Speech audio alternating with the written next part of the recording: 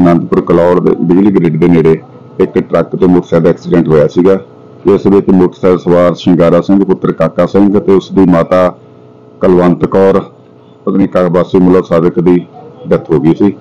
ਤੇ ਜਿਸ ਸੰਬੰਧ ਵਿੱਚ ਅਸੀਂ ਟਰੱਕ ਡਰਾਈਵਰ ਦੇ ਖਿਲਾਫ ਮੁਕੱਦਮਾ ਦਰਜ ਕਰਕੇ ਤੇ ਇਹਨਾਂ ਦਾ ਪੋਸਟਮਾਰਟਮ ਕਰਾ ਰਹੇ ਜੀ।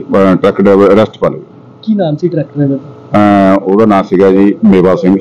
ਹੈ ਵਾਸੀ ਫਤਿਹਪੁਰ ਜੱਟਾਂ ਕੀ ਕਿਹੜੀ ਧਾਰਾ ਵਜੇ ਤਹਿਤ ਮਾਮਲਾ? ਅਹ ਇਹ ਧਾਰਾ ਜੀ 279 304 ਇਹ 427 ਆਈਪੀਸੀ ਥਾਣਾ ਬਸੀ ਪਠਾਣਾ ਵਿੱਚ ਦਰਜ ਰਜਿਸਟਰ ਕਰਕੇ।